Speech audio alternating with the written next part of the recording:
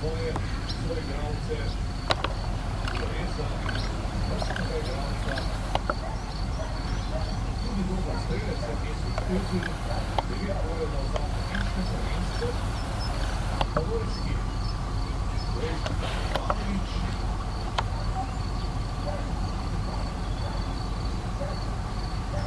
ali je bil to prekršek, vidimo, a, vidiš, bo bil prekršek zaradi pretiranja ure, torej Nemanja Vidič, naslednji rumeni karton, štiri rumeni kartoni pri Srbiji, štirje oziroma tri plus ena pa pri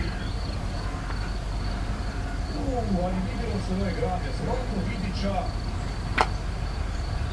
Ja, mislim, da ja. Mislim, da ja, potem bi moral biti to udarec 11 metrov.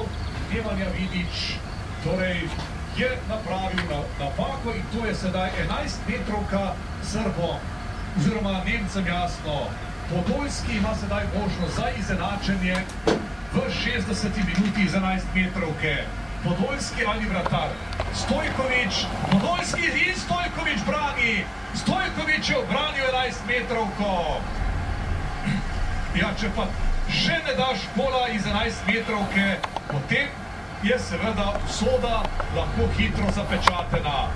Druga 11 metrovka, ki so jo napravili Srbina, lahko rečemo popolnoma identičen način.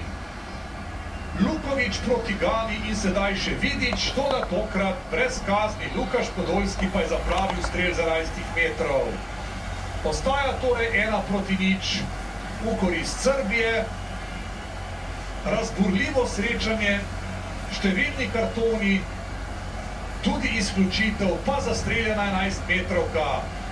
Do konca tekme pa še pol ure. Nemanja Vidice lahko sedaj odahne. Nič kaj blestečo formo ni pokazal sicer igralec Manchester Uniteda, tako upevani Nemanja Vidič.